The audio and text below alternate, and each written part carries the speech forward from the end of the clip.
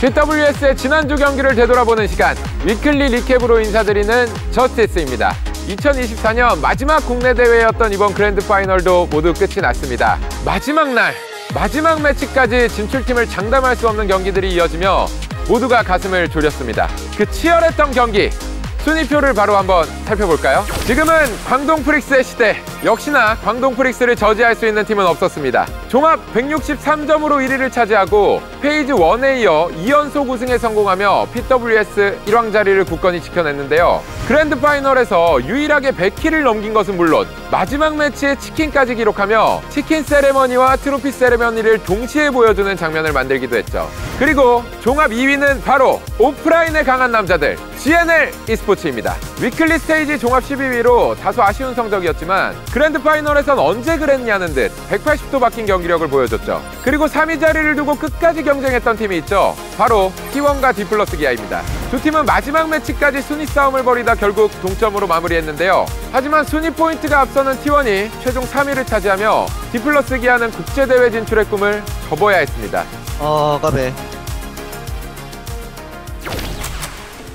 시즌을 마무리할 때 가장 설레는 시간은 언제일까요? 개인적으로 저는 이 MVP 선수를 호명하는 순간인데요. 이번 grand final의 MVP 주인공은 누구였을지 눈부신 활약을 보여준 선수들도 한번 확인해 볼까요? weekly stage부터 grand final까지 조위 man of the match에 선정된 선수는 총 27명인데요. 그중 7명의 선수가 150점을 넘기며 MVP 경쟁을 펼쳤습니다. 그 싸움 끝에 MVP를 쟁취한 선수는 바로 종합 400점을 기록한 광동 프릭스의 헤븐 선수입니다. 무려 6번 이번 시즌 가장 많은 MOM을 받으며 phase 1에 이어 phase 2까지 2연속 MVP를 달성하는 데 성공했습니다.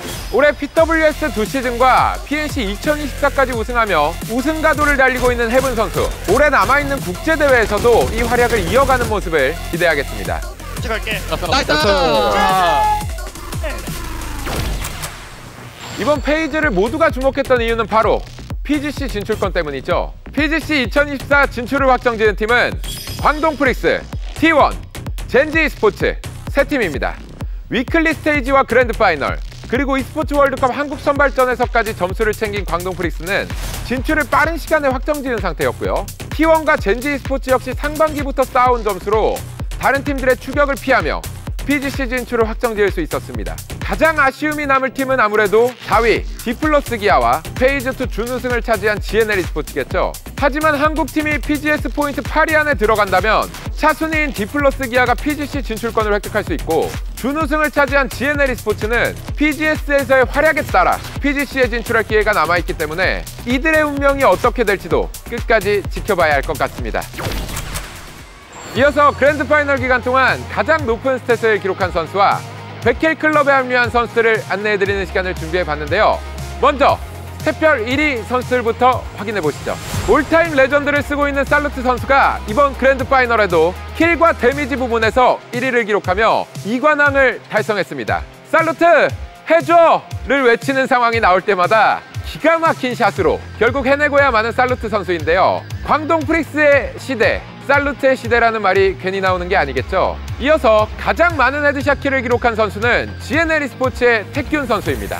택균 선수는 Phase 2를 준비하며 GNL e스포츠에 합류했는데요. 합을 맞추는 시간이 짧았음에도 불구하고 팀을 carry하는 장면을 자주 보여준 선수입니다. 내년을 책임지는 선수로 성장해주길 기대해 보겠습니다. Nice! 이어서 2024 PWS 합산 100 kill 이상을 달성한 선수들도 한번 살펴볼까요? 100 kill 클럽에 가입한 선수는 최종 14명으로 마무리됐습니다. Grand Final 기간 동안 6명의 선수가 새로 합류하며 규모가 커졌습니다. 가장 눈에 띄는 선수는 바로 T1의 타입 선수입니다. 개막전에서 고전했던 T1이 분위기 반전에 성공할 수 있었던 건 타입 선수의 활약으로 만들어낸 9매치의 치킨 덕분이라고도 할 수 있는데요. 꾸준한 기량을 보여주고 있는 것은 물론 팬분들이 앞으로의 유망주로 뽑고 있는 만큼 다음에 보여줄 활약이 더욱 기대됩니다. 마지막으로 이번 Grand Final 결과 새로운 신기록을 확인해보는 시간 Hall of Fame을 준비해봤습니다. 지금은 광동 프릭스의 시대 2024 PWS Phase 1에 이어 Phase 2까지 우승을 차지하며 본인들의 기록을 갈아치우고 있는 광동 프릭스 8번의 시즌 중 우승만 6번 과연 내년 PWS에서도 이 기록은 이어지게 될까요? 올해 이 두 번의 MVP를 해본 선수가 기록하기는 했지만 살루트 선수의 기록은 아직 넘지 못하고 있는데요. 앞으로 이어질 시즌에서 헤븐 선수가 살루트 선수의 기록을 깨는 날도 오게 될지 기대하는 마음으로 지켜봐야 될 것 같습니다. 올해 PWS는 이렇게 끝이 났지만 아직 펍지 스포츠는 끝난 게 아니죠. 10월 21일부터 PGC 2024 최종 진출팀이 결정될 PGS 시리즈가 진행됩니다. 이번 PGS5와 6의 진출권을 획득한 팀은 글로벌 파트너팀 젠지 스포츠와 Grand Final 상위 세 팀인 광동 프릭스, GNL 스포츠, 그리고 T1이죠. 마지막 기회를 가지게 된 GNL 스포츠는 정말 간절한 마음으로 경기에 임해야 할 것 같고 이미 PGC 진출이 확정된 한국 팀들은 더 많은 시드권을 확보하기 위해 노력해줘야 할 타이밍인데요. 과연 대미를 장식할 PGC 2024에 최종 진출할 한국팀은 어느 팀이 될까요? 그리고 몇 팀이나 진출할 수 있을까요? 끝까지 지켜봐 주시길 바라며 위클리 리캡은 여기서 인사드리겠습니다. 1년 동안 함께 해 주신 여러분 대단히 감사합니다.